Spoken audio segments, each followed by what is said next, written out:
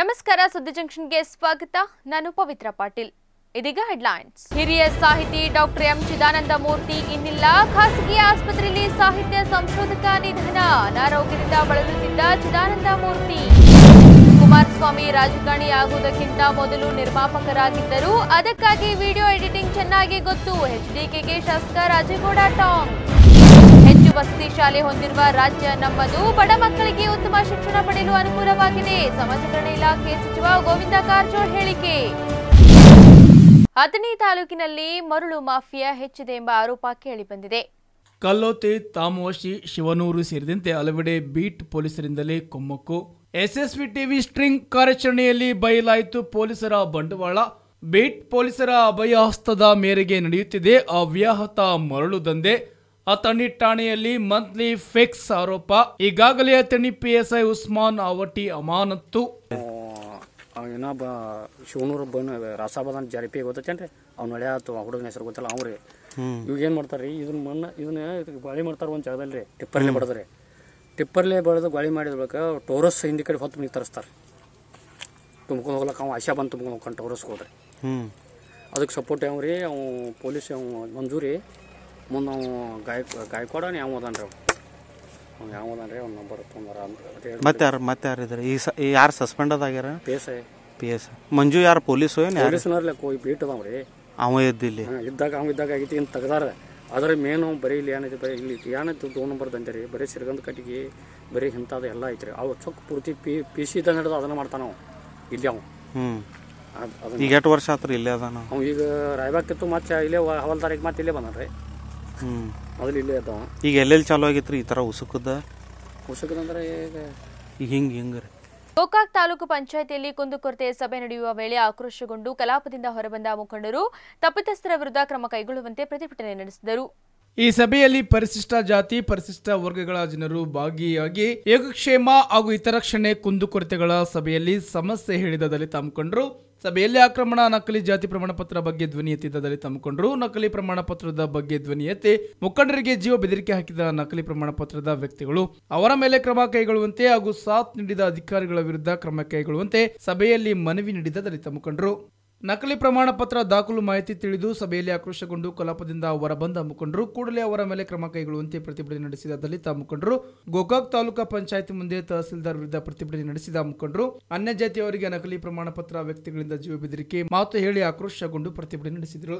ಮುನ್ನ ಜಾಗೃತ ಕ್ರಮವಾಗಿ ಅವರ ಮೇಲೆ ಕ್ರಮ ಕೈಗೊಳ್ಳುವಂತೆ ಪ್ರಕರಣ ದಾಖಲಿಸುವಂತೆ ಮನವಿ ನೀಡಿದ ಮುಖಂಡರು, ಗೋಕಾಕ್ ಶಹರ ಪೊಲೀಸ್ ಠಾಣೆಯಲ್ಲಿ ಪ್ರಕರಣ ದಾಖಲಿಸಿ ತನಿಖೆ ಮಾಡುವಂತೆ ಆಗ್ರಹಿಸಿದ ದಲಿತ ಮುಖಂಡರು ಪ್ರಮಾಣಪತ್ರ ಸಲ್ಲಿಸಿದ ಗೋಕಾಕ್ ಜಿಲ್ಲೆಗೆ ಏನೇ ಬರಲಿ ಏನೇ ಬರಲಿ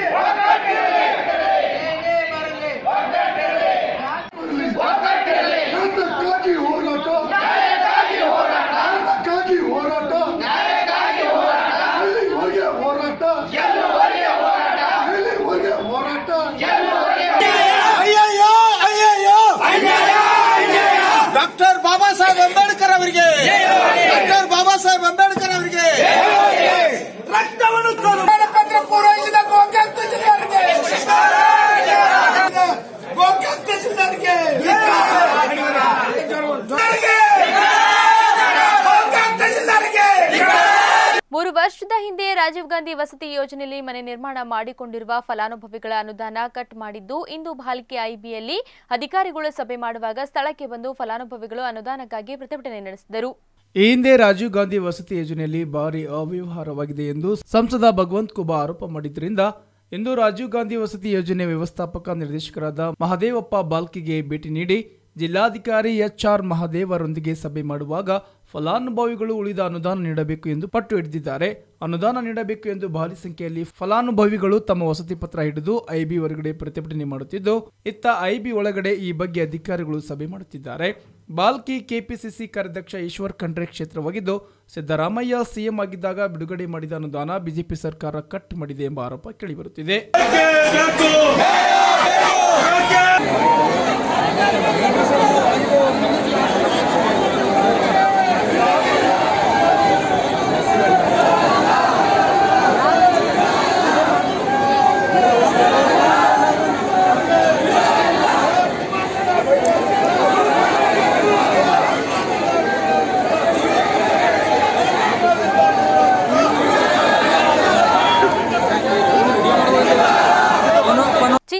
ತಾಲೂಕಿನ ವ್ಯವಹಾರಿಕ ಗ್ರಾಮವಾದ ಸುಲೇಪೇಟ್ ಗ್ರಾಮದ ಬಸವಾನುಯಾಯಿಗಳಲ್ಲಿ ಸಂಭ್ರಮ ಮನೆ ಮಾಡಿದೆ. ಬಸವೇಶ್ವರ ವೃತ್ತದಲ್ಲಿ ಜಿಲ್ಲೆಯಲ್ಲಿಯೇ ಎತ್ತರವಾದ ಅಶ್ವಾರೂಢ ಬಸವೇಶ್ವರರ ಮೂರ್ತಿ ಪ್ರತಿಷ್ಠಾಪಿಸಲಾಗಿದೆ.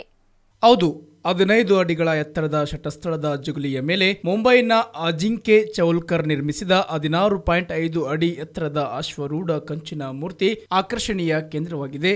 ಬಸವೇಶ್ವರ ಮೂರ್ತಿಯನ್ನ ಬುಧವಾರ ಗ್ರಾಮಕ್ಕೆ ತರಲಾಗಿದೆ. ಮಧ್ಯಾಹ್ನದಿಂದಲೇ ಕ್ರೇನ್ ಮೂಲಕ ಆರಂಭವಾದ ಮೂರ್ತಿ ಪ್ರತಿಷ್ಠಾಪನೆ ಕೆಲಸ ಬೆಳಗಿನ ಜಾವ ಮೂರು ಗಂಟೆಯವರೆಗೂ ನಡೆಯಿತು. ಮೂರ್ತಿ ಪ್ರತಿಷ್ಠಾಪನೆ ಯೋಜನೆ ಕೈಗೆತ್ತಿಕೊಂಡು ಎರಡು ವರ್ಷಗಳ ಹಿಂದೆಯೇ ಸೊಲ್ಲಾಪುರದಲ್ಲಿ ಇಪ್ಪತ್ತೈದು ಲಕ್ಷ ರೂಪಾಯಿ ವೆಚ್ಚದಲ್ಲಿ ಅಶ್ವರೂಢ ಕಂಚಿನ ಮೂರ್ತಿ ತಯಾರಿಗೆ ಒಪ್ಪಂದ ಮಾಡಿಕೊಂಡು ಶಿಲ್ಪಿಯೊಬ್ಬರಿಗೆ ಮುಂಗಡ ಹಣ ನೀಡಲಾಗಿತ್ತು. ಆದರೆ ಕಾರಣಾಂತರಗಳಿಂದ ಸೊಲ್ಲಾಪುರದ ಶಿಲ್ಪಿ ಮೂರ್ತಿ ತಯಾರಿಸಿ ಕೊಡುವಲ್ಲಿ ವಿಫಲರಾದರು. ಬಳಿಕ ಹಣ ವಾಪಸ್ ಪಡೆದು ಮುಂಬೈಗೆ ತೆರಳಿ ಅಲ್ಲಿ ಶಿಲ್ಪಿ ಅಜಿಂಕ್ಯ ಚೌಲ್ಕರ್ ಅವರೊಂದಿಗೆ ಒಪ್ಪಂದ ಮಾಡಿಕೊಂಡು ಹಣ ಪಾವತಿಸಿದರು. ಅದರಂತೆ ಮೂವತ್ತೆಂಟು ರೂಪಾಯಿ ಲಕ್ಷ ವೆಚ್ಚದಲ್ಲಿ ತಯಾರಾದ ಮೂರ್ತಿ ಈಗ ಸುಲೇಪೇಟ್ಗೆ ಬಂದಿದೆ. ಚನ್ನಮಲ್ಲಪ್ಪ ಮಾಸ್ಟರ್ ಮಾತನಾಡಿ, ಇದು ಸುಮಾರು ಹಲವಾರು ದಶಕಗಳಿಂದ ಆಕಾಂಕ್ಷೆಗಳಿಂದ ಕೂಡಿದ ಗ್ರಾಮಸ್ಥರು ಇವತ್ತಿನ ದಿವಸ ನಮಗೆ ಖುಷಿ ತಂದುಕೊಟ್ಟಿದೆ. ಈ ಕೆಲಸಕ್ಕೆ ಗ್ರಾಮದ ಹಿರಿಯರು, ಯುವಕರು, ಮುಖಂಡರು ಎಲ್ಲರೂ ಜಾತಿ ಭೇದ ಭಾವ ಇಲ್ಲದೆ ಪ್ರತಿಯೊಬ್ಬರು ಸೇವೆಯನ್ನು ನೀಡಿದ್ದಾರೆ. ಈ ಮೂರ್ತಿ ಸ್ಥಾಪನೆಯು ಮಾಡಿದ ಮೇಲೆ ಪೊಲೀಸ್ ಇಲಾಖೆಯವರು ಈ ಮೂರ್ತಿಯ ಸುತ್ತ ಸಿಸಿಟಿವಿಯನ್ನು ಅಳವಡಿಸಿ ಇದರ ರಕ್ಷಣೆ ಮಾಡಬೇಕು ಎಂದು ಹೇಳಿದರು. ಮಹೇಶ್ ಬೆಮ್ಮಳಗಿ ಮಾತನಾಡಿ, ಇದು ಸುಮಾರು ಎರಡು ದಶಕಗಳಿಂದ ಬಸವ ಅಭಿಮಾನಿಗಳ ಕನಸು ನನಸಾಗಿದೆ. ಇನ್ನು ಎರಡು ಪೂರ್ವಭಾವಿ ಸಭೆಯನ್ನ ಮಾಡಿ ಇನ್ನೂ ಕೆಲವು ಸಣ್ಣ ಪುಟ್ಟ ಕೆಲಸಗಳು ಇವೆ. ಇವುಗಳನ್ನ ಮುಗಿಸಿಕೊಂಡು ಬಸವ ಜಯಂತಿ ಮುಂಚಿತವಾಗಿ ಇಲ್ಲ, ಯುಗಾದಿ ಹಬ್ಬವನ್ನ ಮಾಡಿಕೊಂಡು ಊರಿನ ಗಣ್ಯರ ಸ್ವಾಮೀಜಿಗಳ ಸಭೆಯನ್ನ ಮಾಡಿಕೊಂಡು ದಿನಾಂಕವನ್ನು ನಿಗದಿಪಡಿಸುತ್ತೇವೆ. ಅದೇ ಸಂದರ್ಭದಲ್ಲಿ ಶರಣು ಸ್ವಂತ್ ರಾಜು ದಬ್ಬ, ಬಸವರಾಜ್ ಯಾಲಕ್ಕಿ, ರೇವಣಸಿದ್ದ ಚೆಂಗ್ಲೇರಿ, ಶರಣು ಪಡಶೆಟ್ಟಿ, ನಾರಾಯಣ್ ರೆಡ್ಡಿ, ರಾಜಕ್ ಪಟೇಲ್, ವೀರಾಶ್, ಚಂದ್ರು, ಮಹೇಶ್, ಸಂತೋಷ್ ಇತರರು ಇದ್ದರು. ಒಂದು ಧನ್ಯವಾದ ಸಲ್ಲಿಸುತ್ತಾ, ಅದೇ ಥರ ಎಲ್ಲ ಪತ್ರಿಕಾ ಮಾಧ್ಯಮದವರಿಗೂ ಹಾಗೂ ನ್ಯೂಸ್ ಚಾನೆಲ್ನವರಿಗೂ ನನ್ನ ಒಂದು ವಂದನೆಯನ್ನು ಹೇಳುತ್ತಾ, ಇವಾಗ ಸುಲೇಪೇಟ್ ಗ್ರಾಮದಲ್ಲಿ ಇದು ನಮ್ಮ ಬಸವಾಭಿಮಾನಿಗಳದ ಒಂದು ಎರಡು ದಶಕದ ಕನಸು ಇವಾಗ ಈಡೇರ್ತಾ ಇದೆ. ಇದರದ ಒಂದು ಇನ್ನೊಂದು ಎರಡು ಪೂರ್ವಭಾವಿ ಸಭೆ ಮಾಡಿ ಇದನ್ನ ಲೋಕಾರ್ಪಣೆ ಮಾಡಬೇಕಂತ ನಮ್ಮ ಹಿರಿಯರು ಮತ್ತು ಮಠಾಧೀಶರು ಸುಲೇಪೇಟ್ ಗ್ರಾಮದ ಸರ್ವ ಸಮಾಜದ ಮುಖಂಡರನ್ನ ಒಂದು ಪೂರ್ವಭಾವಿ ಸಭೆಯಲ್ಲಿ ಈ ಸುಲೇಪೇಟ ಗ್ರಾಮದಲ್ಲಿ ಸ್ಥಾಪಿಸಿ ಒಂದು ಕರ್ನಾಟಕಕ್ಕೆ ಮಾದರಿಯಾದಂತಹ ಒಂದು ಸುಲೇಪೇಟ್ ಗ್ರಾಮವಾಗಿ ನಾವು ಈ ಭವ್ಯ ಮುಖ ಮೂರ್ತಿ ಮುಖಾಂತರ ಘೋಷಿಸುತ್ತಿದ್ದೇವೆ. ಇಂತಹ ಒಂದು ಭವ್ಯ ಮೂರ್ತಿ ಈ ಈ ಮೂರ್ತಿ ಸ್ಥಾಪನೆ ಮಾಡಿ ನಾವು ಎಂಥ ಬಸವ ಭಕ್ತರು ಮತ್ತು ಈ ತಾಲೂಕದಲ್ಲಿ ಎಷ್ಟು ನಾವು ಹೆಮ್ಮೆಯಿಂದ ನಾವು ಒಳ್ಳೆಯ ಶ್ರಮ ಮಾಡ್ತಿದ್ದೇವೆ ಶ್ರೀಪಟ್ಟದಲ್ಲಿ ಎಂಥ ಒಗ್ಗಟ್ಟಿದೆ. ಮತ್ತು ಎಲ್ಲ ಸಮಾಜದವರು ತಗೊಂಡ್ಕೊಂಡು ವಿಶೇಷವಾಗಿ ಬಸವ ಭಕ್ತರು ಮತ್ತು ಶ್ರೀಪೇಟ ಗ್ರಾಮದ ಏಕಕಾಲಕ್ಕೆ ಎಷ್ಟೊಂದು ಕಾಮಗಾರಿ ಉದ್ಘಾಟನೆಯಾಗಿದ್ದು ಇದೇ ಮೊದಲು. ಶಾಸಕ ಪ್ರಿಯಾಂಕ್ ಖರ್ಗೆ ಅವರು ಬಡ ಮಕ್ಕಳಿಗೆ ಸಾಮಾಜಿಕ ನ್ಯಾಯ ಕಲ್ಪಿಸುವ ನಿಟ್ಟಿನಲ್ಲಿ ಕಾಮಗಾರಿ ಅಡಿಗಲು ನೆರವೇರಿಸಿದ್ದಾರೆ ಎಂದು ಉಪಮುಖ್ಯಮಂತ್ರಿ ಸಮಾಜ ಕಲ್ಯಾಣ ಇಲಾಖೆ ಸಚಿವ ಗೋವಿಂದ ಕಾರಜೋಳ ಅಭಿಪ್ರಾಯಪಟ್ಟಿದ್ದಾರೆ. ಚಿತ್ತಾಪುರ ತಾಲೂಕಿನ ವಾಡಿ ಪಟ್ಟಣದಲ್ಲಿ ನಡೆದ ಜಿಲ್ಲಾ ಆಡಳಿತ, ಸಮಾಜ ಕಲ್ಯಾಣ ಇಲಾಖೆ, ಲೋಕೋಪಯೋಗಿ ಇಲಾಖೆ, ಪೌರಾಡಳಿತ ಇಲಾಖೆ, ಕಲಬುರಗಿ ಹಾಗೂ ಕರ್ನಾಟಕ ವಸತಿ ಶಿಕ್ಷಣ ಸಂಸ್ಥೆಗಳ ಸಂಘ ಬೆಂಗಳೂರು ಇವರ ಸಂಯುಕ್ತ ಆಶ್ರಯದಲ್ಲಿ ಚಿತ್ತಾಪುರ ತಾಲೂಕಿನಲ್ಲಿ ಹಾಗೂ ವಾಡಿ ಪಟ್ಟಣದ ಮಂಜೂರಾದ ವಿವಿಧ ಕಾಮಗಾರಿಗಳ ಅಡಿಗಲ್ಲು ಹಾಗೂ ಫಲಾನುಭವಿಗಳಿಗೆ ವಿವಿಧ ಸೌಲಭ್ಯ ವಿತರಣಾ ಸಮಾರಂಭವನ್ನ ಕರ್ನಾಟಕ ರಾಜ್ಯದ ಮುಖ್ಯಮಂತ್ರಿಗಳು ಹಾಗೂ ಲೋಕೋಪಯೋಗಿ ಇಲಾಖೆ, ಸಮಾಜ ಕಲ್ಯಾಣ ಇಲಾಖೆ ಹಾಗೂ ಕಲಬುರಗಿ ಜಿಲ್ಲಾ ಉಸ್ತುವಾರಿ ಸಚಿವರಾದ ಗೋವಿಂದ ಕಾರಜೋಳ ಅವರು ಉದ್ಘಾಟಿಸಿ ಮಾತನಾಡಿದರು. ಅತಿ ಹೆಚ್ಚು ವಸತಿ ಶಾಲೆ ಹೊಂದಿರುವ ಹೆಗ್ಗಳಿಕೆಗೆ ಕರ್ನಾಟಕ ರಾಜ್ಯ ಪಾತ್ರವಾಗಿದೆ. ಕರ್ನಾಟಕದಲ್ಲಿ ಒಟ್ಟು ಎಂಟುನೂರ ಇಪ್ಪತ್ತು ವಸತಿ ಶಾಲೆಗಳು ನಿರ್ಮಿಸಲಾಗಿದ್ದು, ಒಂದು ಲಕ್ಷ ಇಪ್ಪತ್ತು ಸಾವಿರ ಬಡ ಮಕ್ಕಳು ವಸತಿ ಶಾಲೆಗಳಲ್ಲಿ ವಿದ್ಯಾಭ್ಯಾಸ ಪಡೆಯುತ್ತಿದ್ದಾರೆ. ವಸತಿ ಶಾಲೆಗಳು ನಿರ್ಮಿಸುವುದರಿಂದ ಬಡ ಮಕ್ಕಳಿಗೆ ಉತ್ತಮ ಶಿಕ್ಷಣ ಕಲ್ಪಿಸಲು ಸಾಧ್ಯವಾಗಲಿದೆ ಮುಂಬರುವ ದಿನಗಳಲ್ಲಿ ಮುಖ್ಯಮಂತ್ರಿ ಯಡಿಯೂರಪ್ಪ ಅವರ ನೇತೃತ್ವದಲ್ಲಿ ಇನ್ನಷ್ಟು ವಸತಿ ಶಾಲೆಗಳು ಸೇರಿದಂತೆ ಇನ್ನಿತರ ಯೋಜನೆಗಳು ಜಾರಿಗೆ ತರುವ ಚಿಂತನೆ ನಡೆದಿದೆ. ಪ್ರಧಾನಿ ನರೇಂದ್ರ ಮೋದಿ ಅವರು ಕೂಡ ಸ್ನಾತಕೋತ್ತರ ಪದವಿ ವಿದ್ಯಾರ್ಥಿನಿಯರಿಗಾಗಿ ವಸತಿ ಶಾಲೆ ನಿರ್ಮಾಣ ಮಾಡುವ ಭರವಸೆಯನ್ನು ನೀಡಿದ್ದಾರೆ ಎಂದರು. ವಿದ್ಯಾರ್ಥಿ ನಿಲಯಗಳು ಆಶ್ರಮ ಶಾಲೆಗಳು ಇದಲ್ಲದೆ ಹಿಂದುಳಿದ ವರ್ಗಕ್ಕೆ ಸೇರಿದಂಥ ವಿದ್ಯಾರ್ಥಿ ನಿಲಯಗಳು ಆಶ್ರಮ ಶಾಲೆಗಳು ಕೂಡ ರಾಜ್ಯದಲ್ಲಿ ಒಟ್ಟಾರೆಯಾಗಿ ಕರ್ನಾಟಕದಲ್ಲಿ ನಮ್ಮ ಇಲಾಖೆ, ಸಮಾಜ ಕಲ್ಯಾಣ ಇಲಾಖೆಯಲ್ಲಿ ಮೂರು ಲಕ್ಷ ಎಪ್ಪತ್ತೊಂದು ಸಾವಿರ ಮಕ್ಕಳು ಮುಂದೆ ಓದ್ತಕ್ಕಂಥ ವ್ಯವಸ್ಥೆ. ಅದರಲ್ಲಿ ಹೆಚ್ಚಿನ ಪ್ರಮಾಣದಲ್ಲಿ ಮಕ್ಕಳು ಫಸ್ಟ್ ಕ್ಲಾಸ್ನಲ್ಲಿ ಪಾಸ್ ಆಗ್ತಾರೆ. ನೂರಕ್ಕೆ ತೊಂಬತ್ತೈದು, ತೊಂಬತ್ತಾರು ಪರ್ಸೆಂಟ್ ರಿಸಲ್ಟ್ ಆಗ್ತದೆ? ಇದರಿಂದ ಬಡವರ ಮಕ್ಕಳ ಶಿಕ್ಷಣದ ಗುಣಮಟ್ಟ ಸುಧಾರಣೆ ಆಗ್ತದೆ. ನಾವು ಇನ್ನೂ ಇದೇ ವೇಳೆ ಕಾರ್ಯಕ್ರಮದ ಅಧ್ಯಕ್ಷತೆಯನ್ನು ವಹಿಸಿ ಶಾಸಕ ಪ್ರಿಯಾಂಕ್ ಖರ್ಗೆ ಅವರು ಮಾತನಾಡಿದರು. ಈ ಭಾಗದಲ್ಲಿ ಅನೇಕ ವಿದ್ಯಾರ್ಥಿಗಳು ಐಎಎಸ್, ಕೆಎಎಸ್ ಅಧಿಕಾರಿಗಳಾಗಿದ್ದಾರೆ ಎಂದು ತಿಳಿಸಿದರು. ಇನ್ನು ತೊಗರಿ ಬೆಂಬಲ ಬೆಲೆ ಮುನ್ನೂರರಿಂದ ಐದುನೂರು ರೂಪಾಯಿಗೆ ಹೆಚ್ಚಿಸುವುದು ಸೇರಿದಂತೆ ತೊಗರಿ ಖರೀದಿ ಲಿಮಿಟ್ ಹೆಚ್ಚಿಸುವಂತೆ ಗೋವಿಂದ್ ಕಾರಜೋಳ ಅವರಿಗೆ ಪ್ರಿಯಾಂಕ್ ಖರ್ಗೆ ಅವರು ಮನವಿ ಮಾಡಿದರು.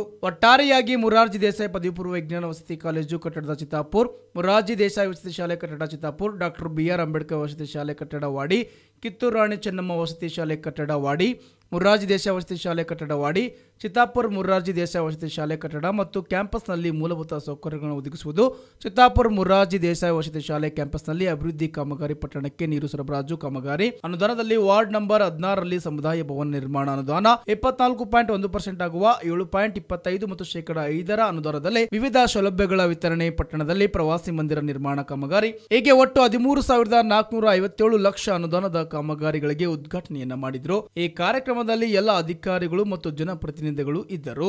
ಮೊದಲನೇ ಬಾರಿಗೆ ನಮ್ಮ ರಾಜ್ಯ ಹಾಗೂ ರಾಷ್ಟ್ರದಲ್ಲಿ ನಾವು ಜನಸಂಖ್ಯೆಯ ಅನುಗುಣವಾಗಿ ನಾವು ಬಜೆಟ್ ಅನ್ನು ನಾವು ಲಭ್ಯ ಮಾಡಿಕೊಳ್ಬೇಕು ಅಂದ್ಬಿಟ್ಟು ಒಂದು ಕಾಯ್ದೆ ತಂದು S C P T S P act ತಂದು, ಇವತ್ತಿನ ದಿನ ಈ ಸೋಷಿಯಲ್ ವೆಲ್ಫೇರ್ ಡಿಪಾರ್ಟ್ಮೆಂಟ್ಗೆ ಇವತ್ತು ಮೂವತ್ತು ಸಾವಿರ ಕೋಟಿ ರೂಪಾಯಿ ಅನುದಾನ ಈ ಇಲಾಖೆ ಇಡೀ ನಮ್ಮ ದೇಶದ ಬಜೆಟ್ ಬಹುಶಃ ನಮ್ಮ ಈ ಮಾದರಿ ಏನಿದೆ, ಜನಸಂಖ್ಯೆಯ ಅನುಗುಣವಾಗಿ ಈ ಬಜೆಟ್ ಅನ್ನ ನಾವು ಮೀಸಲಿಡ್ತಾ ಇದ್ದೀವಿ ಅದೇ ರೀತಿ ಗವರ್ಮೆಂಟ್ ಆಫ್ ಇಂಡಿಯಾ ಕೂಡ ಮಾಡಿದ್ರೆ ನಿಜವಾಗ್ಲೂ ಪರಿಷ್ಠ ಜಾತಿ ಮತ್ತೆ ಪರಿಷ್ಠ ಪಂಗಡದವರಿಗೆ ಉಪಯೋಗ ಆಗುತ್ತೆ ಅಂತ ನನ್ನ ವೈಯಕ್ತಿಕ ಅಭಿಪ್ರಾಯಗಳನ್ನ ನಮ್ಮ ಹತ್ರ ಹಂಚ್ಕೋತಾ ಇದ್ದೀವಿ ಯಾಕಂದ್ರೆ ನಾವು ಸುಮ್ಮನೆ ನಾವು ಕಲ್ಯಾಣ ಮಾಡ್ತೀವಿ ಕಲ್ಯಾಣ ಮಾಡ್ತೀವಿ ಅಂತ ಹೇಳಿದ್ರೆ ಆಗೋದಿಲ್ಲ. ಯಾಕಂದ್ರೆ ನಾವು ಆರ್ಥಿಕವಾಗಿರ್ಬೋದು, ಸಾಮಾಜಿಕವಾಗಿರ್ಬೋದು, ನಾವು ಜನರಿಗೆ ನಾವು ಅವರಿಗೆ ಸಮಾಜಕ್ಕೆ ನಾವು ಮುಖ್ಯವಾಹಿನಿಗೆ ತರಬೇಕಂದ್ರೆ ಕಾಳಗಿ ಪಟ್ಟಣದಲ್ಲಿ ಮಹಿಳಾ ಹಕ್ಕುಗಳ ಹೋರಾಟಗಾರ್ತಿ ಮತ್ತು ಭಾರತದ ಮೊಟ್ಟ ಮೊದಲ ಶಿಕ್ಷಕಿ ಸಾವಿತ್ರಿಬಾಯಿ ಫೂಲೆ ಅವರ ನೂರ ಎಂಬತ್ತೊಂಬತ್ತನೇ ಜನ್ಮದಿನದ ಅಂಗವಾಗಿ ಅವರ ಬದುಕು ಮತ್ತು ಬರಹ ಕುರಿತು ವಿಚಾರಗೋಷ್ಠಿ ಹಾಗೂ ಉತ್ತಮ ಶಿಕ್ಷಕರಿಗೆ ಗೌರವ ಪುರಸ್ಕಾರ ಹಾಗೂ ಎರಡ್ ಸಾವಿರದ ಇಪ್ಪತ್ತರ ಬಿಡುಗಡೆ ಕಾರ್ಯಕ್ರಮ ಕಾಳಗಿ ತಾಲೂಕು ಜೈಕರ್ನಗರ ರಕ್ಷಣಾ ವೇದಿಕೆ ವತಿಯಿಂದ ಹಮ್ಮಿಕೊಳ್ಳಲಾಯಿತು. ಜೈ ಕನ್ನಡಿಗರ ರಕ್ಷಣಾ ವೇದಿಕೆಯ ಸಂಸ್ಥಾಪಕರಾದ ಸಚಿನ್ ಫರ್ತಾಬಾದ್ ಅವರು ಎರಡ್ ಸಾವಿರದ ಇಪ್ಪತ್ತರ ಕ್ಯಾಲೆಂಡರ್ ಬಿಡುಗಡೆ ಮಾಡಿದರು. ಹಾಗೂ ಉತ್ತಮ ಶಿಕ್ಷಕರಿಗೆ ಪ್ರಶಸ್ತಿ ಪತ್ರ ನೀಡಿ ಸನ್ಮಾನ ಮಾಡಲಾಯಿತು. ಉತ್ತಮ ಶಿಕ್ಷಕರ ಪ್ರಶಸ್ತಿ ಪಡೆದ ಶಿಕ್ಷಕರು ಪ್ರೊಫೆಸರ್ ಕರ್ಬಸಪ್ಪ ಸರ್ಕಾರಿ ಪದವಿ ಪೂರ್ವ ಕಾಲೇಜು ಕಾಳಗಿ, ಶ್ರೀಮತಿ ಸಿಂಧು ಚವ್ಹಾಣ್ ಸಹ ಶಿಕ್ಷಕಿ ಸರ್ಕಾರಿ ಪ್ರೌಢಶಾಲೆ ಕಾಳಗಿ, ಶರಣಮ್ಮ ಮುಖ್ಯ ಗುರುಗಳು ಸರ್ಕಾರಿ ಹಿರಿಯ ಪ್ರಾಥಮಿಕ ಶಾಲೆ ಕೊರವಿ, ಗುಂಡಪ್ಪ ವಸಳ್ಳಿ ಸಹ ಶಿಕ್ಷಕ ಸರ್ಕಾರಿ ಹಿರಿಯ ಪ್ರಾಥಮಿಕ ಶಾಲೆ ಭಾರತನೂರ್, ಬಸಪ್ಪ ಎಲ್ ಹೊಸಮನಿ ಮುಖ್ಯ ಗುರುಗಳು ರುಮನ್ಗೌಡ್ ಸುರೇಖಾ ಸಹ ಶಿಕ್ಷಕಿ ಸರ್ಕಾರಿ ಹಿರಿಯ ಪ್ರಾಥಮಿಕ ಶಾಲೆ ಅರಣಕಲ್ ಸರ್ದಾರ್ ಅಲಿ ಮುಖ್ಯ ಗುರುಗಳು ಸರ್ಕಾರಿ ಹಿರಿಯ ಪ್ರಾಥಮಿಕ ಶಾಲೆ ಒಲಗೇರ ಧರ್ಮರಾಯ ಪಾಟೀಲ್ ಸಹ ಶಿಕ್ಷಕ ಸರ್ಕಾರಿ ಹಿರಿಯ ಪ್ರಾಥಮಿಕ ಶಾಲೆ ಹೇರೂರ್, ಕೆ ಲಕ್ಷ್ಮಿ ಸಹ ಶಿಕ್ಷಕಿ ಸರ್ಕಾರಿ ಹಿರಿಯ ಪ್ರಾಥಮಿಕ ಶಾಲೆ ರೇವಗಿ, ರಮಾಬಾಯಿ ಎಂ ಗಿರಣಿ ಸಹ ಶಿಕ್ಷಕಿ ಸರ್ಕಾರಿ ಮಾದರಿ ಪ್ರಾಥಮಿಕ ಶಾಲೆ ಕಾಳಗಿ ಚಂದ್ರಶೇಖರ್ ಪ್ರಭಾರಿ ಮುಖ್ಯ ಗುರುಗಳು ಸರ್ಕಾರಿ ಹಿರಿಯ ಪ್ರಾಥಮಿಕ ಶಾಲೆ ಮುಖರಂಭ ಈ ಸಂದರ್ಭದಲ್ಲಿ ಕಾಂಗ್ರೆಸ್ನ ಮುಖಂಡರಾದ ನಿಂಬೆಣ್ಣಪ್ಪ ಕೋರ್ವಾರ್, ಪಟ್ಟಣ ಪಂಚಾಯತ್ ಅಧ್ಯಕ್ಷರಾದ ಶಿವಲೀಲಾ ಸಲ್ಗಾರ್, ಕಾಳಗಿಯ ತಾಲೂಕು ಪಂಚಾಯತ್ ಸದಸ್ಯರಾದ ರತ್ತಮ್ಮ ಡಿ ಗುತ್ತೇದಾರ್ ಜಯ ಕನ್ನಡಿಗರ ರಕ್ಷಣಾ ವೇದಿಕೆಯ ತಾಲೂಕು ಘಟಕದ ಅಧ್ಯಕ್ಷರಾದ ಪರಮೇಶ್ವರ್ ಕಟ್ಟಮನಿ, ರಮೇಶ್ ರಾಠೋಡ್, ಜಗನ್ನಾಥ್ ಚಂದನಕೇರಿ, ಕಾಶಿನಾಥ್ ಮಾಳ್ಗಿ, ಮತಾಬ್ ಕುರೇಶಿ ದಿಲೀಪ್ ಬಿ ಅರಣಕಲ್, ರೇವಣಸಿದ್ದ ಪೂಜಾರಿ ಕೃಷ್ಣ ಸೇರಿ, ಮಂಜುನಾಥ್ ದಂಡೇನ್ ಇನ್ನು ಅನೇಕರು ಉಪಸ್ಥಿತರಿದ್ದರು. ಸುಮಾರು ಇವತ್ತು ನಮ್ಮ ಸಂಘಟನೆಯ ನಮ್ಮ ಕಾರ್ಯಕರ್ತರು ಇವತ್ತು ಕೂಡಿ ಏನಿವತ್ತು ಸವಿ, ಸಾವಿತ್ರಿಬಾಯಿ ಫುಲೆ ಅವರ ಏನು ಜಯಂತಿ ಮಾಡಿದಾರೋ ಇವತ್ತು ಬಹಳ ನಮಗೆ ಸಂತೋಷ ಆಗಿದೆ. ಮತ್ತು ಅದೇ ರೀತಿಯಾಗಿ ನಮ್ಮ ಕಲಬುರಗಿ ನಗರದಿಂದ ಆಗಮಿಸಿದ ನಮ್ಮ ಸಂಘಟನೆಯ ರಾಜ್ಯ ಪ್ರಧಾನ ಕಾರ್ಯದರ್ಶಿ ಕಾಶಿನಾಥ್ ಮಾಳಿಗೆ ನಮ್ಮ ಕೂಡ ಜೊತೆ ಬಂದಿದ್ದಾರೆ.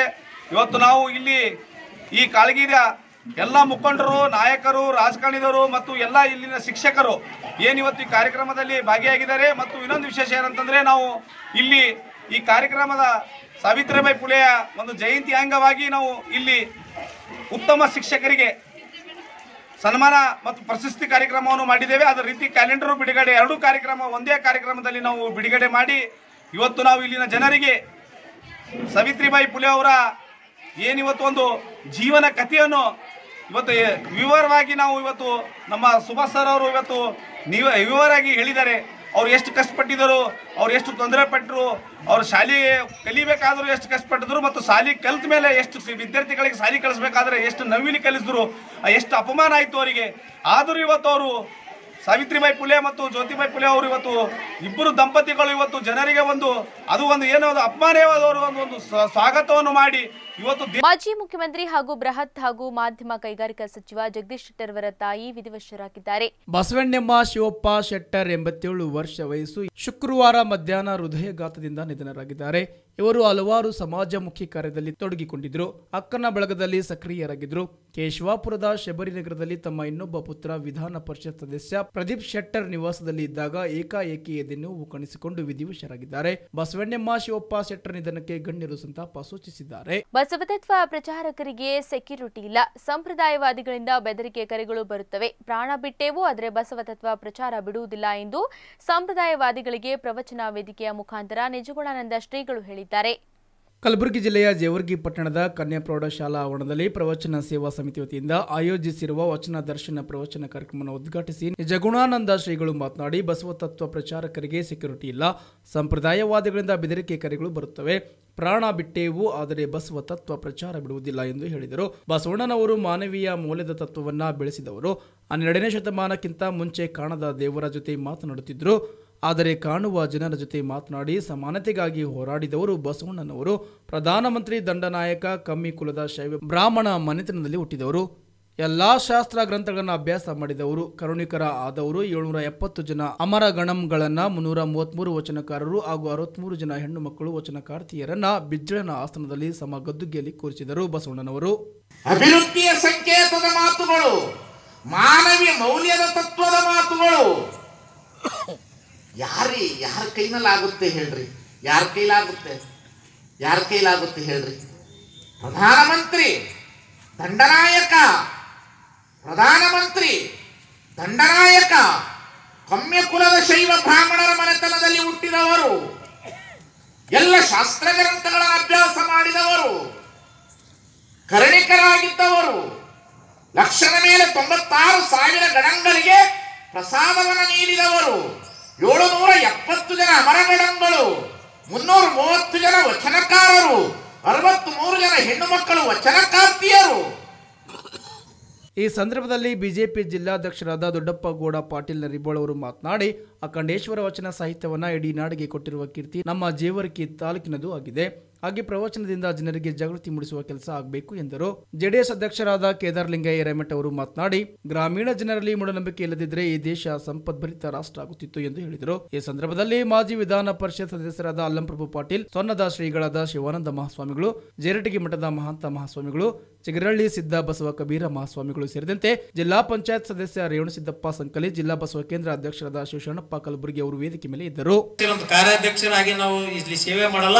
ಈ ಒಂದು ಕಾರ್ಯಕ್ಕೆ ಸೇವಕರಾಗಿ ನಾವು ಕೆಲಸ ಮಾಡ್ತೀನಿ ಅಂತಕ್ಕಂಥ ಮಾತನ್ನ ಈ ಸಂದರ್ಭದಲ್ಲಿ ಹೇಳಿ ಇಲ್ಲಿ ಬಂದಿರತಕ್ಕಂಥ ಎಲ್ಲ ನಾಡಿನ ಆರಾಧ್ಯ ದೇವತೆ ಬಾದಾಮಿಯ ಬನಶಂಕರಿ ದೇವಿಯ ಜಾತ್ರೆ ಅದ್ದೂರಿಯಾಗಿ ಜರುಗಿತು. ರಾಜ್ಯದ ಮೂಲೆ ಮೂಲೆಗಳಿಂದ ಆಗಮಿಸಿದ ಸಹಸ್ರಾರು ಸಂಖ್ಯೆಯ ಭಕ್ತ ಸಾಗರ ದೇವಿಯ ಮಹಾರಥೋತ್ಸವಕ್ಕೆ ಸಾಕ್ಷಿಯಾದರು. ಸಂಜೆ ಐದಕ್ಕೆ ಗೋಧೂಳಿ ಸಮಯದಲ್ಲಿ ಮಹಾರಥೋತ್ಸವ ಜರುಗಿದ್ದು ರಥೋತ್ಸವಕ್ಕೆ ನಡಿನ ಮೂಲೆ ಮೂಲೆಗಳಿನ ಭಕ್ತರಷ್ಟೇ ಅಲ್ಲದೆ ವಿದೇಶಿಯ ಪ್ರವಾಸಿಗರು ಹಾಗೂ ನೆರೆಯ ಮಹಾರಾಷ್ಟ್ರ, ಆಂಧ್ರಪ್ರದೇಶ, ತೆಲಂಗಾಣ, ತಮಿಳುನಾಡು ರಾಜ್ಯಗಳಿಂದಲೂ ಆಗಮಿಸಿ ದೇವಿ ದರ್ಶನವನ್ನ ಪಡೆದರು. ಕುಷ್ಟಗಿ, ಇಳಕಲ್, ತೆರೆದಾಳ್, ಜಮಖಂಡಿ, ಹುಬ್ಬಳ್ಳಿ, ರಾಮದುರ್ಗ, ಬೆಳಗಾವಿ, ಗದಗ್ ಸೇರಿದಂತೆ ನಡಿನ ನಾನಾ ಕಡೆಯಿಂದ ಆಗಮಿಸುವ ಪಾದಯಾತ್ರಿಗಳಿಗೆ ಸೇವಾರ್ಥಿಗಳು ಮಾರ್ಗದುದ್ದಕ್ಕೂ ಚಹಾ, ತಿಂಡಿ, ಊಟ, ಔಷಧಿ ವ್ಯವಸ್ಥೆಯನ್ನ ಕಲ್ಪಿಸಿದರು. ಕ್ಷೇತ್ರದ ಶಾಸಕರು ಆಗಿರುವ ಮಾಜಿ ಮುಖ್ಯಮಂತ್ರಿ ಸಿದ್ದರಾಮಯ್ಯ ಸಂಸದ ಪಿಸಿ ಗದ್ದೆಗೌಡರು ಜಾತ್ರೆಯಲ್ಲಿ ಭಾಗವಹಿಸಿ ಬನಶಂಕರಿ ದೇವಿ ಕೃಪೆಗೆ ಪಾತ್ರರಾದರು. ಜಾತ್ರೆಯಲ್ಲಿ ಕಾನೂನು ಸುವ್ಯವಸ್ಥೆ ಕಾಪಾಡಲು ಪೊಲೀಸ್ ಇಲಾಖೆ ಹಾಗೂ ತಾಲೂಕು ಆಡಳಿತ ಭರ್ಜರಿ ವ್ಯವಸ್ಥೆ ಮಾಡಿತು. ಒಂದು ತಿಂಗಳವರೆಗೆ ನಡೆಯುವ ದೇವಿಯ ಜಾತ್ರೆಯಲ್ಲಿ ಬರುವ ಭಕ್ತರಿಗಾಗಿ ಮನೋರಂಜನೆ ನೀಡಲು ನಾಟಕ ಕಂಪನಿಗಳು ನಿನ್ನೆಯಿಂದ ನಾಟಕ ಪ್ರದರ್ಶನ ಪ್ರಾರಂಭಿಸಿವೆ. ಚಲನಚಿತ್ರ ಹಾಗೂ ಕಿರುತೆರೆ ಕಲಾವಿದರು ಜಾತ್ರೆಯ ನಾಟಕಗಳಲ್ಲಿ ಅಭಿನಯಿಸಿ ಜನತೆಯನ್ನ ರಂಜಿಸಲಿದ್ದಾರೆ. ಒಟ್ಟಿನಲ್ಲಿ ಒಂದು ತಿಂಗಳ ಕಾಲ ನಡೆಯುವ ಬಾದಾಮಿ ಬನಶಂಕರಿ ದೇವಿ ಜಾತ್ರೆ ಉತ್ತರ ಕರ್ನಾಟಕದಲ್ಲಿ ಪ್ರಸಿದ್ಧಿ ಪಡೆದಿದೆ. ಬೆಳಗಾವಿ ಜಿಲ್ಲಾ ಪಂಚಾಯತ್ನಲ್ಲಿ ಅಧ್ಯಕ್ಷೆ ಆಶಾ ಐಹೊಳೆ ನೇತೃತ್ವದಲ್ಲಿ ಸಾಮಾನ್ಯ ಸಭೆಯನ್ನ ಹಮ್ಮಿಕೊಳ್ಳುವುದರ ಮೂಲಕ ಅಭಿವೃದ್ಧಿ ಕಾರ್ಯ ಮತ್ತು ಕುಂದುಕೊರತೆಗಳ ಕುರಿತು ಚರ್ಚೆ ನಡೆಸಿದರು. ಶುಕ್ರವಾರ ಬೆಳಗಾವಿ ಜಿಲ್ಲಾ ಪಂಚಾಯತ್ ಸಭಾಂಗಣದಲ್ಲಿ ಸಾಮಾನ್ಯ ಸಭೆಯನ್ನ ಹಮ್ಮಿಕೊಳ್ಳಲಾಯಿತು. ಸದಸ್ಯರು ಮತ್ತು ಅಧಿಕಾರಿಗಳೊಂದಿಗೆ ಚರ್ಚೆ ನಡೆಸುವುದರ ಮೂಲಕ ಅಭಿವೃದ್ಧಿ ಯೋಜನೆಗಳ ಕಾರ್ಯಗತಿಯ ಬಗ್ಗೆ ಚರ್ಚೆ ನಡೆಸಿದರು. ರೈತರು ಟಿಸಿ ಅಳವಡಿಸುವಂತೆ ಹೇಳಿದರೆ ರಾಯಬಾಗ ತಾಲೂಕಿನ ಹೆಸ್ಕಾಂ ಅಧಿಕಾರಿಯು ಬೇಜವಾಬ್ದಾರಿ ವರ್ತನೆ ತೋರುವುದರ ಜೊತೆಗೆ ಕೇಳಲು ಹೋದರೆ ಕುಡಿದ ಮತ್ತಿನಲ್ಲಿ ನನ್ನ ಮೇಲೂ ಮನಬಂದಂತೆ ವಾಗ್ದಾಳಿ ನಡೆಸಿದ್ದಾರೆ ಎಂದು ರಾಯಬಾಗ ಜಿಲ್ಲಾ ಪಂಚಾಯತ್ ಸದಸ್ಯ ಕೆಂಡಾಮಂಡಲ ಲಿಂಗಪ್ಪ ಪಾಕಾಂಡೆ ಗಂಭೀರ ಆರೋಪ ಮಾಡಿದರು. ಸಭೆ ಬಹಿಷ್ಕರಿಸಲು ಮುಂದಾದ ಇನ್ನುಳಿದ ಸದಸ್ಯರು ಲಿಂಗಪ್ಪ ಪಾಖಂಡೆಗೆ ಬೆಂಬಲ ಸೂಚಿಸಿದರು. ವಿದ್ಯುತ್ ಇಲಾಖೆ, ಬಿಡಬ್ಲ್ಯೂಇ ಅಧಿಕಾರಿ ಮತ್ತು ಸದಸ್ಯರ ನಡುವೆ ವಾಗ್ದಾಳಿ ಶುರುವಾಯಿತು. ತಕ್ಷಣ ಪಂಚಾಯತ್ ಸಿಇಒ ರಾಜೇಂದ್ರ ಕೆವಿ ಮಧ್ಯಪ್ರವೇಶಿಸಿ ವಿಚಾರಣೆ ನಡೆಸಿ ಕ್ರಮ ಕೈಗೊಳ್ಳುವುದಾಗಿ ಭರವಸೆ ನೀಡಿ ಗೊಂದಲದ ವಾತಾವರಣವನ್ನು ತಿಳಿಗೊಳಿಸಿದರು. ಬಳಿಕ ಜಿಲ್ಲಾ ಪಂಚಾಯತ್ ಅಧ್ಯಕ್ಷ ಆಶಾ ಐಹೊಳೆ ಅಧಿಕಾರಿಗಳನ್ನು ತರಾಟೆಗೆ ತೆಗೆದುಕೊಂಡು ಜವಾಬ್ದಾರಿಯುತ ಕೆಲಸ ಮಾಡುವಂತೆ ಎಚ್ಚರಿಕೆ ನೀಡಿದರು. ಅಧಿಕಾರಿಗಳ ನಿರ್ಲಕ್ಷ್ಯತೆಯಿಂದ ಸ್ವಚ್ಛ ಭಾರತ್ ಹಳ್ಳ ಹಿಡಿಯುತ್ತಿದೆ. ಜಿಲ್ಲಾ ಪಂಚಾಯಿತಿಯೇ ಸ್ವಚ್ಛತೆ ಇಲ್ಲದೆ ಗಬ್ಬೆದ್ದಿದೆ. ಏನು ಮಾಡುತ್ತಿದ್ದೀರಿ? ಜಿಲ್ಲಾ ಪಂಚಾಯಿತಿ ಅಭಿವೃದ್ಧಿ ಕೆಲಸಕ್ಕೆ ಪ್ರತಿ ವರ್ಷ ಇಪ್ಪತ್ತು ಲಕ್ಷ ಬಿಡುಗಡೆಯಾದರೂ ಉತ್ತಮ ರೀತಿಯಲ್ಲಿ ಅಭಿವೃದ್ಧಿ ಕಾರ್ಯ ಮಾಡುತ್ತಿಲ್ಲ. ಏಕೆ ಎಂದು ತರಾಟೆಗೆ ತೆಗೆದುಕೊಂಡರು. ಬಳಿಕ ಸಿಇಒ ರಾಜೇಂದ್ರ ಕೆವಿ ರಸ್ತೆ, ನೀರು, ಸಾರ್ವಜನಿಕ ಆಸ್ತಿಗಳ ಕುರಿತು ಅಧಿಕಾರಿಗಳೊಂದಿಗೆ ಚರ್ಚೆ ನಡೆಸಿ ಆಮೆಗತಿ ಕಾರ್ಯಗಳ ವೇಗ ಹೆಚ್ಚಿಸಿ ಎಂದು ಹರಿಯಾಯಿದರು ಇಲ್ಲಿಯವರೆಗೂ ಹಮ್ಮಿಕೊಂಡಿದ್ದ ಅಭಿವೃದ್ಧಿ ಕಾರ್ಯಗಳ ವಿತರಣೆಯನ್ನ ಕೂಡಲೇ ಸಲ್ಲಿಸಬೇಕೆಂದು ನೇರವಾಗಿ ಆದೇಶ ಮಾಡಿದರು. ಗಡಿ ವಿವಾದವು ಬೂದಿ ಮುಚ್ಚಿದ ಕೆಂಡದಂತಾಗಿದ್ದು, ಮಹಾರಾಷ್ಟ್ರದಲ್ಲಿ ಶಿವಸೇನೆಯು ಕನ್ನಡ ಚಲನಚಿತ್ರವನ್ನ ಬ್ಯಾನ್ ಮಾಡಿದ್ದಕ್ಕೆ ಪ್ರತಿವಿರೋಧವಾಗಿ ಮರಾಠಿ ಚಿತ್ರವಾದ ತಾನಾಜಿಯನ್ನ ಕರ್ನಾಟಕದಲ್ಲಿ ಬ್ಯಾನ್ ಮಾಡಬೇಕೆಂದು ಕರ್ನಾಟಕ ನವನಿರ್ಮಾಣ ಸೇನೆಯ ಪ್ರತಿಭಟನೆ ನಡೆಸಿತು ಚಿತ್ರಮಂದಿರದಿಂದ ಬ್ಯಾನರ್ ತೆಗೆದುಹಾಕಲು ಮುಂದಾದ ಕಾರ್ಯಕರ್ತರನ್ನ ಪೊಲೀಸರು ವಶಕ್ಕೆ ಪಡೆದುಕೊಂಡರು. ಗಡಿ ವಿವಾದದಿಂದ ಮಹಾರಾಷ್ಟ್ರ ಮತ್ತು ಕರ್ನಾಟಕದಲ್ಲಿ ಈಗಾಗಲೇ ಹಲವಾರು ಸಮಸ್ಯೆಗಳಿವೆ. ಅದರ ಮಧ್ಯವೇ ಈಗ ಮಹಾರಾಷ್ಟ್ರದಲ್ಲಿ ಕನ್ನಡದ ಅವನೇ ಶ್ರೀಮನ್ ನಾರಾಯಣ ಸಿನಿಮಾವನ್ನ ಶಿವಸೇನೆ ಬ್ಯಾನ್ ಮಾಡಿದ್ದರಿಂದ ಮರಾಠಿ ಸಿನಿಮಾ ತಾನಾಜಿ ಬಿಡುಗಡೆ, ಕರ್ನಾಟಕ ನವನಿರ್ಮಾಣ ಸೇನೆಯು ತೀವ್ರ ವಿರೋಧ ವ್ಯಕ್ತಪಡಿಸಿತು. ಬೆಳಗಾವಿಯ ಕ್ಯಾಂಪ್ ಏರಿಯಾದಲ್ಲಿ ಇರುವ ಗ್ಲೋಬ್ ಚಿತ್ರಮಂದಿರದಲ್ಲಿ ಬಿಡುಗಡೆಯಾಗಿರುವ ತಾನಾಜಿ ಸಿನಿಮಾವನ್ನ ತೆಗೆಯುವಂತೆ ಕರ್ನಾಟಕ ನವನಿರ್ಮಾಣ ಸೇನೆಯು ಸದಸ್ಯರು ಘೋಷಣೆಗಳನ್ನು ಕೂಗಿ ಪಟ್ಟು ಹಿಡಿದರು. ಚಿತ್ರಮಂದಿರದ ಮೇಲಿದ್ದ ಬ್ಯಾನರ್ ಅನ್ನು ತೆರವುಗೊಳಿಸಲಾಯಿತು. ಬಳಿಕ ಘೋಷಣೆ ಕೂಗಿ ಪ್ರತಿಭಟನೆ ನಡೆಸಲು ಮುಂದಾದ ಕಾರ್ಯಕರ್ತರನ್ನ ಕ್ಯಾಂಪ್ ಪೊಲೀಸರು ವಶಕ್ಕೆ ಪಡೆದುಕೊಂಡರು. ಈ ಸಂದರ್ಭದಲ್ಲಿ ಕರ್ನಾಟಕ ನವನಿರ್ಮಾಣ ಸೇನೆಯ ಕಾರ್ಯಕರ್ತರು ಮಾತನಾಡಿ, ಕನ್ನಡದ ಅವನೇ ಶ್ರೀಮನ್ ನಾರಾಯಣ ಸಿನಿಮಾವನ್ನ ಶಿವಸೇನೆ ಮಹಾರಾಷ್ಟ್ರದಲ್ಲಿ ಬ್ಯಾನ್ ಮಾಡಿದ್ದಾರೆ. ಅದಕ್ಕೆ ನಾವು ಮರಾಠಿ ಸಿನಿಮಾ, ತಾನಾಜಿ ಸಿನಿಮಾವು ಕರ್ನಾಟಕದಲ್ಲಿ ಎಲ್ಲೂ ಬಿಡುಗಡೆಯಾಗಬಾರದು ಎಂದು ಹೋರಾಟ ಮಾಡುತ್ತಿದ್ದೇವೆ ಎಂದರು. ಈ ಸಂದರ್ಭದಲ್ಲಿ ಜಿಲ್ಲಾ ಅಧ್ಯಕ್ಷರಾದ ಬಾಬು ಸಂಗೂಡಿ, ಆಕಾಶ್ ನಂದಿ, ಅಭಿಷೇಕ್ ಕೊಲ್ಲಾಕರ್, ಶಂಕರ್ ಬೇಕವಾಡ್ಕರ್, ರಾಜು ಕ್ಯಾರಕಟ್ಟಿ, ಸೋನು ಸನದಿ, ವಿನಾಯಕ್ ಕಾಂಬ್ಳೆ ವಿಠಲ್ ಗುಡುಮಕರೆ ಸೇರಿದಂತೆ ಅನೇಕ ಕಾರ್ಯಕರ್ತರು ಉಪಸ್ಥಿತರಿದ್ದರು. ಪೌರತ್ವ ತಿದ್ದುಪಡಿ ಕಾಯ್ದೆಯ ಕುರಿತು ಕೇಂದ್ರ ಹಣಕಾಸು ರಾಜ್ಯ ಸಚಿವ ಅನುರಾಗ್ ಠಾಕೂರ್ ಬೆಳಗಾವಿಯಲ್ಲಿ ಹೆಚ್ಚಿನ ಮಾಹಿತಿ ನೀಡಲಿದ್ದಾರೆಂದು ಉತ್ತರ ಭಾಗದ ಶಾಸಕ ಅನಿಲ್ ಬೆನ್ಗೆ ಹೇಳಿದರು. ಇಂದು ಬೆಳಗಾವಿ ನಗರದ ಖಾಸಗಿ ಹೋಟೆಲ್ ಒಂದರಲ್ಲಿ ಹಮ್ಮಿಕೊಂಡಿದ್ದ ಸುದ್ದಿಗೋಷ್ಠಿಯಲ್ಲಿ ಮಾತನಾಡಿದ ಅವರು ಪೌರತ್ವ ತಿದ್ದುಪಡಿ ಕಾಯ್ದೆಯ ಕುರಿತು ಜನರಲ್ಲಿ ತಪ್ಪು ಕಲ್ಪನೆ ಇದ್ದು ಅದರ ಬಗ್ಗೆ ಸರಿಯಾಗಿ ಅರಿವು ಮೂಡಿಸುವುದು ಅನಿವಾರ್ಯವಾಗಿದೆ. ಇದರ ಕುರಿತು ಕೇಂದ್ರ ಸಚಿವರುಗಳಾದ ಅನುರಾಗ್ ಠಾಕೂರ್ ಮತ್ತು ಸುರೇಶ್ ಅಂಗಡಿ ಜನತೆಗೆ ಹೆಚ್ಚಿನ ತಿಳುವಳಿಕೆ ನೀಡಲಿದ್ದಾರೆ. ನಗರದ ಸರ್ದಾರ್ ಮೈದಾನದಲ್ಲಿ ಈ ಸಾರ್ವಜನಿಕ ಕಾರ್ಯಕ್ರಮವು ಬೆಳಗ್ಗೆ ಹನ್ನೊಂದಕ್ಕೆ ನಡೆಯಲಿದ್ದು, ಕನಿಷ್ಠ ಹತ್ತು ಸಾವಿರ ಜನ ಸೇರುವ ನಿರೀಕ್ಷೆ ಇದೆ ಎಂದರು. ಬಳಿಕ ಸಂಜೆ ಚಿಕ್ಕೋಡಿಯಲ್ಲಿ ಕಾರ್ಯಕ್ರಮ ನಡೆಯಲಿದೆ ಎಂದರು. ಈ ಸಂದರ್ಭದಲ್ಲಿ ಮಾಜಿ ಶಾಸಕರಾದ ಡಾಕ್ಟರ್ ವಿಶ್ವನಾಥ್ ಪಾಟೀಲ್, ಸಂಜಯ್ ಪಾಟೀಲ್, ರಾಜೇಂದ್ರ ಹರ್ಕುಣಿ, ರಾಜು ಚಿಕ್ಕನಗೌಡರು, ಗೋಳೆಪ್ಪ ವಸಮನಿ ಶಶಿಕಾಂತ್ ಪಟೇಲ್ ಇತರರು ಉಪಸ್ಥಿತರಿದ್ದರು.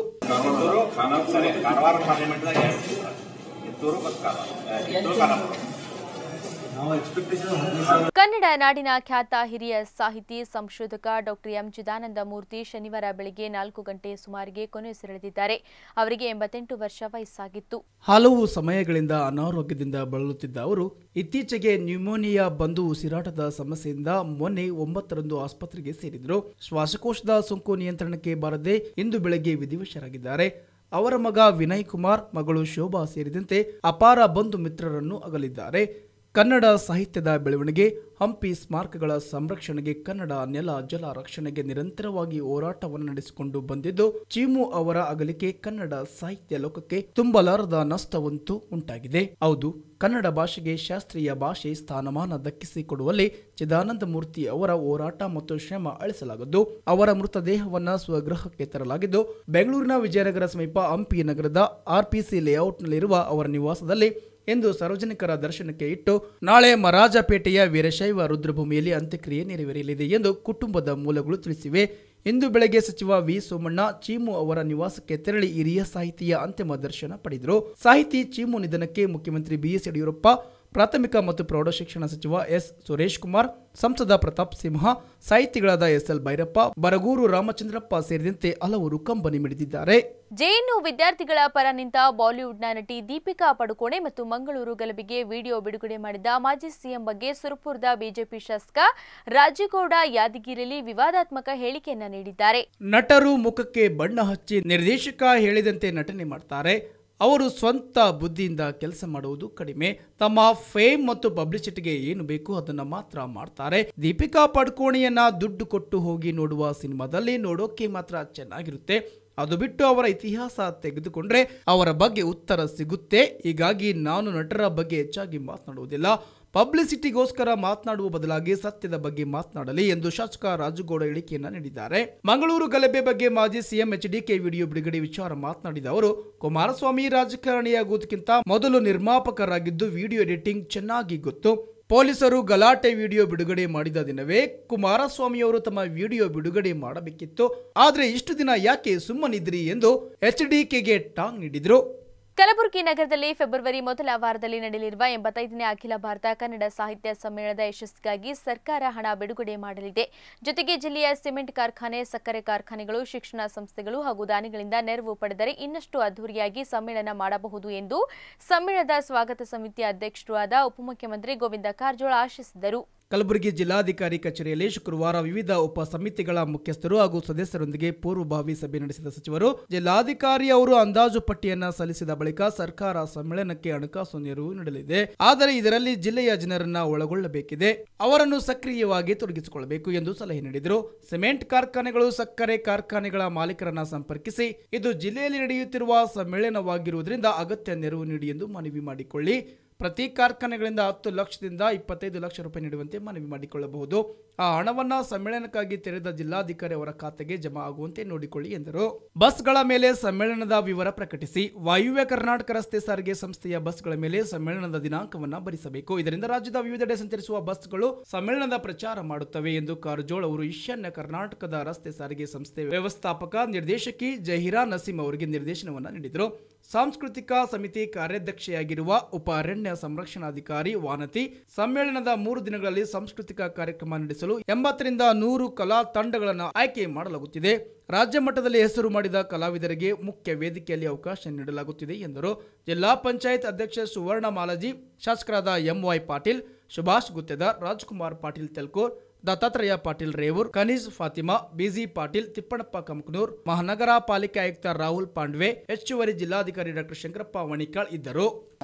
ಸಾಹಿತ್ಯ ಸಮ್ಮೇಳನದ ಪೂರ್ವಭಾವಿ ಸಭೆಯನ್ನು ಇವತ್ತು ನಾವು ಪರಿಶೀಲನೆ ಮಾಡಲಿಕ್ಕೆ ಸಭೆಯನ್ನು ನಡೆಸಿದ್ವಿ. ಈ ಸಭೆಯಲ್ಲಿ ರಾಜ್ಯ ಕನ್ನಡ ಸಾಹಿತ್ಯ ಪರಿಷತ್ತಿನ ಅಧ್ಯಕ್ಷರಾದ ಡಾಕ್ಟರ್ ಮನು ಬಳಗಾರವರು ಮತ್ತು ನಮ್ಮ ಜಿಲ್ಲೆಯ ಎಲ್ಲ ಅಧಿಕಾರಿಗಳು, ಶಾಸಕರು ಭಾಗವಹಿಸಿ ಇದುವರೆಗೂ ಆಗಿರ್ತಕ್ಕಂಥ ಪ್ರಗತಿಯ ಬಗ್ಗೆ ಇವತ್ತಿನ ಸಭೆಯಲ್ಲಿ ಎಲ್ಲರ ಗಮನಕ್ಕೆ ತರ್ತಕ್ಕಂಥ ಕೆಲಸವನ್ನು ಮಾಡಿದ್ದಾರೆ. ನಾವು ಮಕ್ಕಳ ಸಾಹಿತ್ಯ ಪರಿಷತ್ತು ಉದ್ಘಾಟನೆ ಹಾಗೂ ಪದಗ್ರಹಣ ಕಾರ್ಯಕ್ರಮ ಇಂಡಿ ಪಟ್ಟಣದ ಸರ್ಕಾರಿ ಹೆಣ್ಣು ಮಕ್ಕಳ ಶಾಲೆಯಲ್ಲಿ ಮಕ್ಕಳ ಸಾಹಿತ್ಯ ಪರಿಷತ್ತು ಕಾರ್ಯಕ್ರಮ ಬಹು ವಿಜೃಂಭಣೆಯಿಂದ ಜರುಗಿತು. ಉದ್ಘಾಟನೆಯನ್ನು ಶಾಲೆಯ ವಿದ್ಯಾರ್ಥಿನಿಯಾದ ಕುಮಾರಿ ಭುವನೇಶ್ವರಿ ದೇವರ ಅವರು ನೆರವೇರಿಸಿದರು. ಸಾನ್ನಿಧ್ಯವನ್ನ ಸಿದ್ಧಾರೂಢ ಓಂ ಕಾರ್ಯಾಶ್ರಮದ ಸ್ವರೂಪಾನಂದ ಶ್ರೀಗಳು ಆಶೀರ್ವಚನವನ್ನ ನೀಡಿ ಈ ಮಕ್ಕಳ ಸಾಹಿತ್ಯ ಪರಿಷತ್ ಮುಂದೆ ಹೀಗೆ ಒಳ್ಳೆಯ ಕಾರ್ಯಕ್ರಮವನ್ನ ಮಾಡುತ್ತಾ ಮಕ್ಕಳನ್ನ ಉತ್ತಮ ಸಾಹಿತ್ಯನಾಗಿ ಮಾಡಬೇಕು ಎಂದು ಹೇಳಿದರು. ತಾಲೂಕಾ ಅಧ್ಯಕ್ಷರಾದ ಧನ್ಯ ಕುಮಾರ್ ಧನಶೆಟ್ಟಿ ಅವರು ಮಾತನಾಡಿ ಇನ್ನು ಮುಂದೆ ತಾಲೂಕಿನಾದ್ಯಂತ ಒಳ್ಳೆಯ ಕಾರ್ಯಕ್ರಮವನ್ನು ಆಯೋಜಿಸಿ ಮಕ್ಕಳ ಸಾಹಿತ್ಯವನ್ನು ಹೊರತರಲು ಪ್ರಾಮಾಣಿಕ ಪ್ರಯತ್ನ ಮಾಡಲಾಗುವುದು ಎಂದು ಹೇಳಿದರು. ವೇದಿಕೆಯಲ್ಲಿ ಜಿಲ್ಲಾ ಅಧ್ಯಕ್ಷರಾದ ಜಂಬುನಾಥ್ ಕಂಚಾಣಿ ಯುಎಚ್ ಚವ್ಹಾಣ್, ದಾನಪ್ಪ ಬಗ್ಲಿ, ಎಸ್ಎಂ ಅದಿಮೂರ್, ಸ್ವರೂಪಾನಂದ ಶ್ರೀಗಳು, Dhanyakumar Dhanashetti, SR Sulake, DN Akki, Rajashekhar Metri, Nanda Chavan, Preeti Biradar, Shivanand Arijana BS Hosur, Raju Ugar ಇತರರು ಉಪಸ್ಥಿತರಿದ್ದರು. ಇದಾಗಿದೆ ಸುದ್ದಿ ಜಂಕ್ಷನ್ ಹೀಗೆ ನೋಡ್ತಾ ಇರಿ.